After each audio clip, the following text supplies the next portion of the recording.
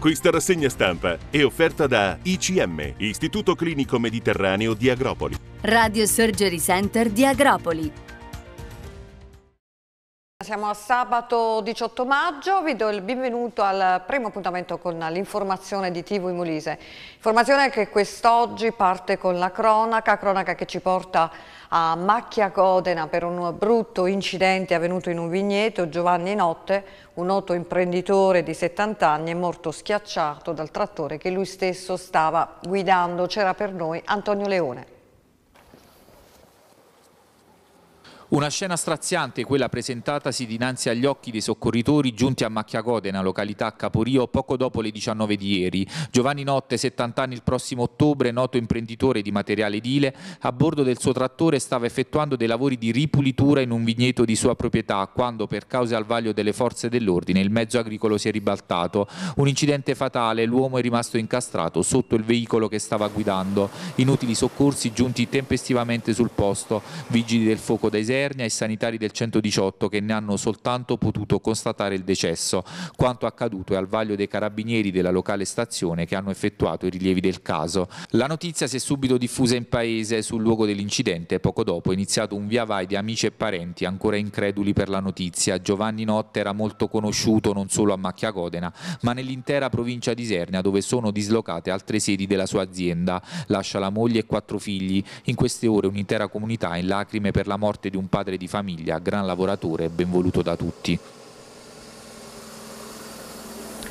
Iniziamo ora la nostra rassegna stampa, abbiamo aperto già i quotidiani online, siamo sulla pagina di TV Molise eh, che apre con questa notizia, Commissione per la parità e le pari opportunità, eletta Presidente Giusi di Lalla, eletti anche due vicepresidenti, Benedetta De Lisi e Maria D'Apice.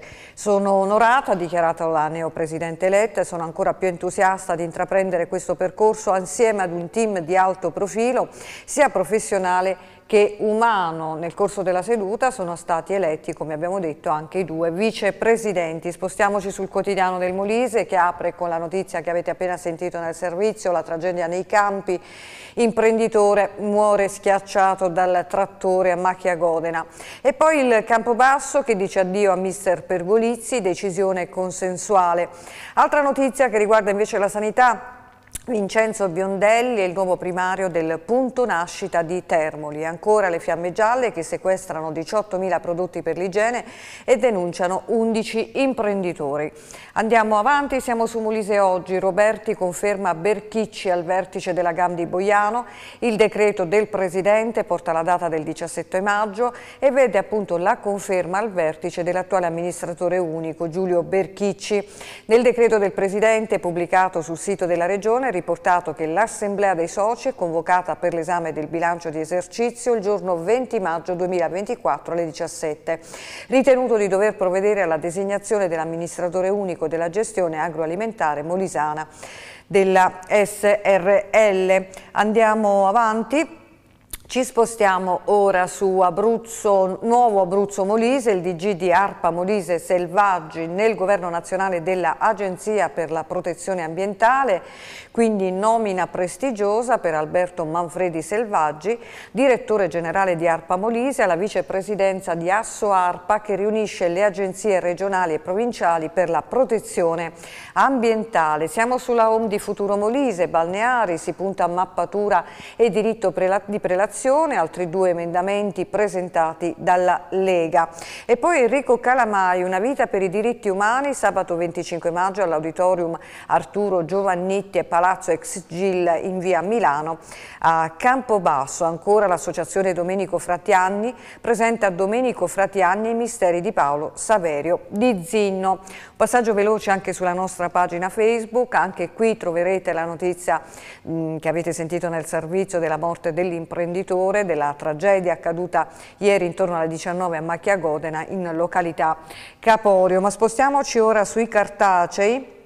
Apriamo la prima pagina di Primo Piano Molise Il titolo Roberti, bravi medici per migliorare la sanità, soddisfatto per gli arrivi eccellenti al Santimotio, il governatore guarda oltre e detta l'agenda. Al lavoro per riorganizzare i nosocomi di Isernia.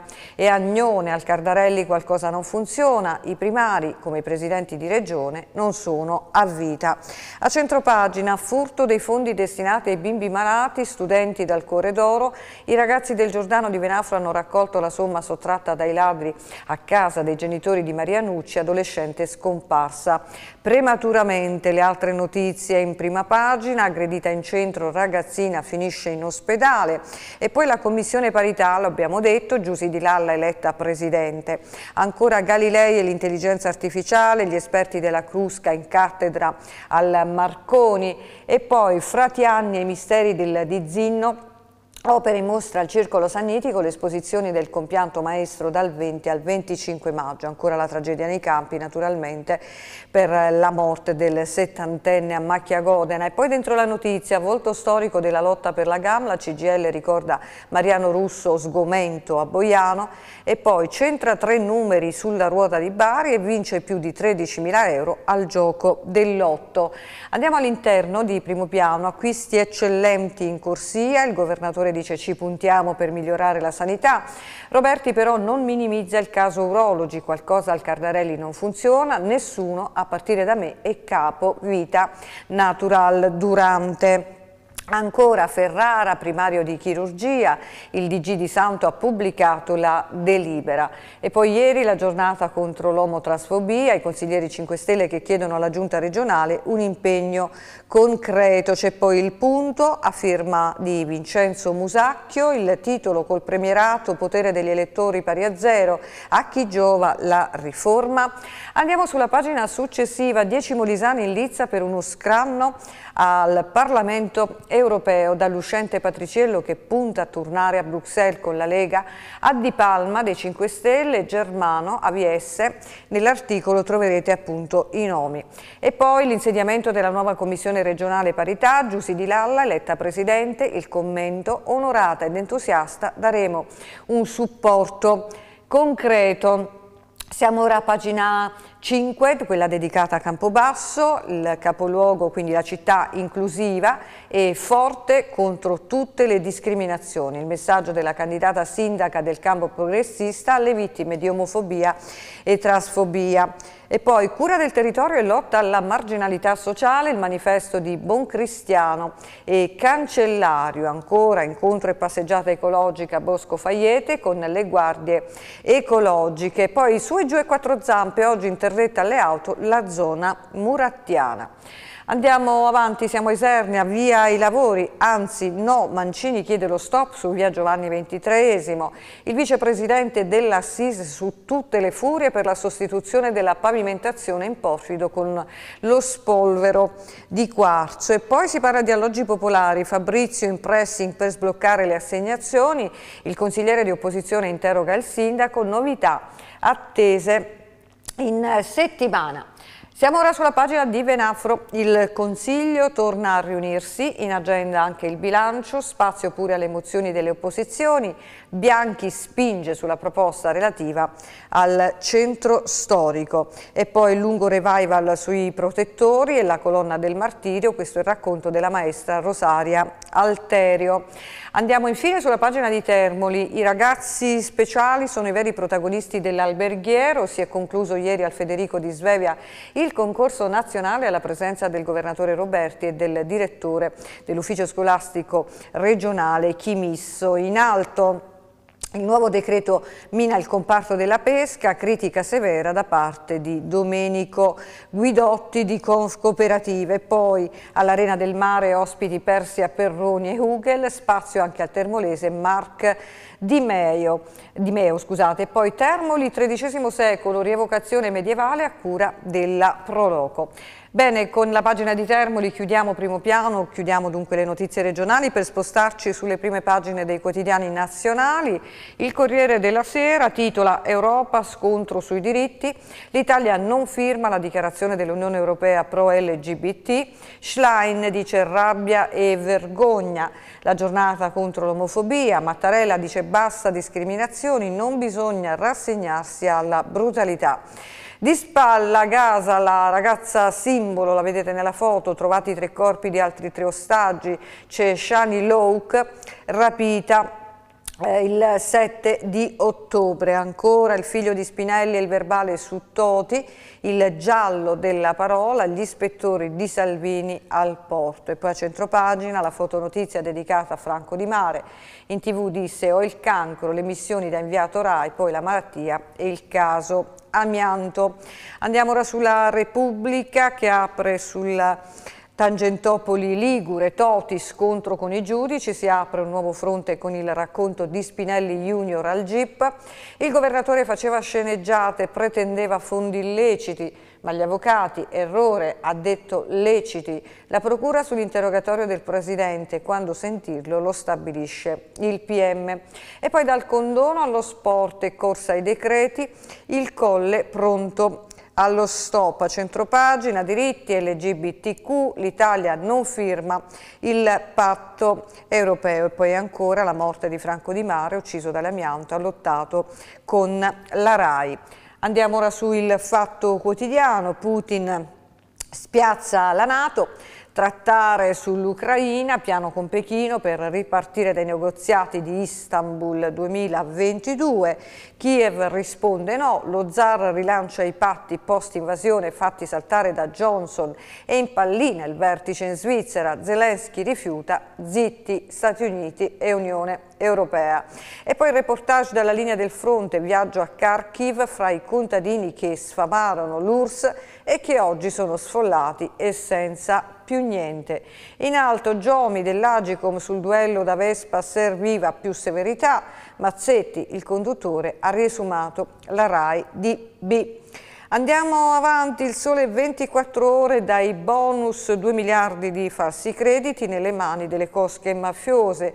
Questa è la stima dell'antimafia, cessioni illecite di bonus edilizi con la complicità anche di professionisti, truffe che finanziano traffici di droga con risorse sottratte allo Stato. E poi zona economica speciale per il Sud, Sbloccati incentivi da 1,8 miliardi, firmato il decreto, dal 12 giugno al 12 luglio vanno comunicate le spese sostenute dal 1 gennaio. A centropagina, borsa, ecco i settori promettenti e poi questa fotonotizia, la borsa di Londra che cerca il rilancio dopo la Brexit 2016, il listino è scivolato al ventunesimo posto nel mondo. In alto l'Italia e altri 12 paesi a Israele, fuori da Rafah, duri scontri a Gaza, distrutte dozzine di case nel nord della striscia e poi il reportage in Georgia, i giovani a capo delle proteste contro la russificazione. Poi per il voto del 2023 legge elettorale la Corte europea dei diritti umani ammette il ricorso.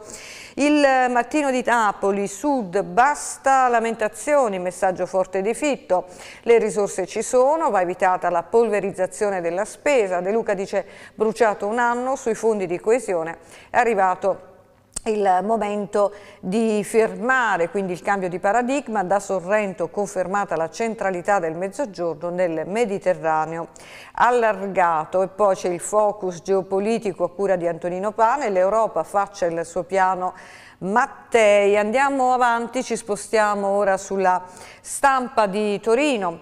Il titolo Unione Europea per i diritti arcobaleno, no d'Italia e paesi dell'Est. Veto di Roccella, Mattajani dice noi in prima linea contro le discriminazioni. Firmata la dichiarazione a favore della comunità LGBT, il governo si allinea però con l'Ungheria. E poi l'economia, allarme debito pubblico, Roma peggio di Atene, il governo studia nuove tasse in autunno. E poi la guerra e l'antisemitismo, qui c'è questa fotonotizia, sinagoga attaccata, paura in Francia, a Gaza, li vedete nella foto, recuperati i corpi di tre ostaggi. A centro pagina, generazione fast sport, Lancini dice copiano la vita social dei genitori, i ragazzi non guardano più le gare intere, meglio gli highlights. Andiamo avanti, siamo ora su Avvenire che titola La pace di tutti i giorni. Da ieri a Verona il confronto sulle vie possibili di riconciliazione a tutti i livelli. Oggi il manifesto sarà presentato al Papa. E poi Putin per la tregua olimpica e non vogliamo Kharkiv al vertice con Xi, la proposta francese. La Cina, conferenza dopo Lucerna. Andiamo avanti, siamo ora su Il Giornale. Il titolo d'apertura, comizi elettorali, questo centropagina, allarme attentati, allerta del Viminale, dopo il caso slovacco si temono altri lupi solitari, Europa nel mirino, quindi massima attenzione da parte dell'intelligence e delle forze dell'ordine per la sicurezza degli incontri elettorali dopo il grave ferimento del premier slovacco Robert Fico. Non ci sono allarmi specifici, spiega il Viminale, ma la minaccia dei lupi solitari, un clima tossico e pericoloso che si sta allargando in vista delle europee europee. In alto svolta in Vaticano, troppi santoni, stretta del Papa sulle apparizioni, solo il pontefice potrà pronunciarsi in via eccezionale, ma alla fede non servono le prove. Poi Covid, flop totale, Fontana dai PM, pesca a strascico, tutte archiviate, quindi finite nel nulla le inchieste sul Covid, il governatore della Lombardia Attilio Fontana attacca una giustizia del genere, non è più accettabile. Ancora, centropagina il ministro Tajani, la Russia sogna l'Unione Europea in frantumi, questa è anche una lotta psicologica, ancora contromisure alle sanzioni dell'Unione Europea, Mosca rapina Unicredit, sequestrato mezzo miliardo. Andiamo ora sul manifesto sotto un ponte il titolo. Manca il progetto definitivo, ma la macchina degli espropri è in moto. Cittadini e comitati oggi in piazza a Villa San Giovanni per salvare la casa e la vita delle comunità da un grande affare destinato però a rimanere incompiuto. Ancora il grande bluff coi costi sociali che sono persone, poi la legge elettorale, il Rosatellum a processo alla Corte europea, Ancora diritti LGBTQ, l'Italia non firma la dichiarazione dell'Unione Europea e poi c'è una notizia sul clima che riguarda quello che sta accadendo appunto in questi giorni al nord Italia, Veneto sommerso da acqua e cemento. Ancora porti spagnoli chiusi alle armi israeliane, quindi Madrid rifiuta l'attracco alla prima nave e annuncia lo faremo con tutte. Andiamo a leggere ora Libero L'ultima follia anti-Meloni vogliono annullare il voto, un ricorso alla Corte europea per i diritti dell'uomo mette in discussione le elezioni politiche del 2022, la sinistra già festeggia e ordina fermate il premierato.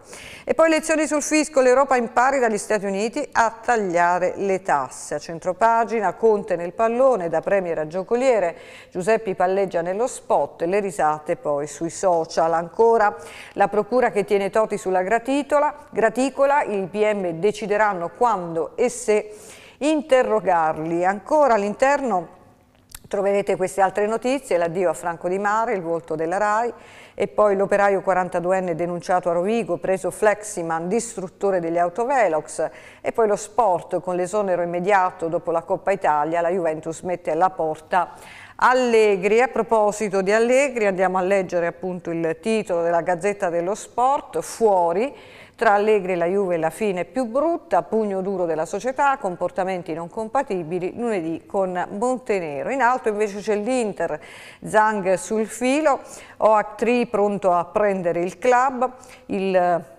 fondo Pimco si allontana, l'attuale finanziatore in agguato. Bene, la nostra rassegna termina qui, come sempre vi ringrazio per averci seguito e vi rimando all'appuntamento delle 13.30 per il nostro telegiornale. A tutti voi l'augurio di una buona giornata. Benvenuti all'oroscopo di oggi, sabato 18 maggio. Ariete, in questo weekend potreste dover affrontare brutti litigi. Sul lavoro riuscirete a trovare una nuova fonte di guadagno. Toro, giornata che vi vede forti e pronti ad affrontare qualsiasi tipo di prova. Sul lavoro dovete cercare di far vedere a colleghi e superiori di meritare il vostro ruolo. Gemelli, in amore cercate di scegliere persone che ricambiano i vostri sentimenti e sul lavoro attenzione perché oggi c'è qualche difficoltà. Cancro, arrivano nuove emozioni per voi in questa giornata che vi vede particolarmente aperti con gli altri. Torna la voglia di amare anche per i single del segno. Leone, giornata un po' pesante dal punto di vista lavorativo, con tanti impegni e un bel po' di stress accumulato da dover gestire. In amore c'è un po' di caos. Vergine, bello questo giorno in cui l'energia è molto forte. In amore c'è solo qualche compromesso da accettare e sul lavoro molto presto risolverete qualsiasi tipo di problema. Bilancia, non fatevi affliggere dalle discussioni perché oggi le cose iniziano ad andare meglio in amore. Anche il lavoro vi vedrà più positivi e pronti a dare di più.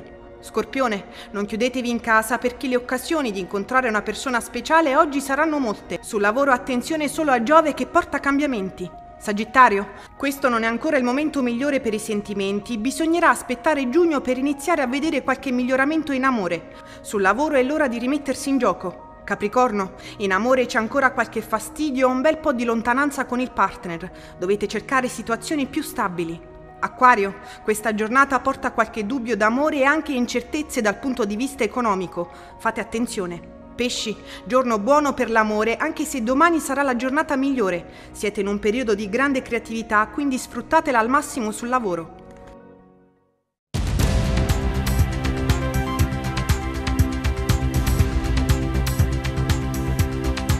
Questa rassegna stampa è offerta da ICM, Istituto Clinico Mediterraneo di Agropoli. Radio Surgery Center di Agropoli.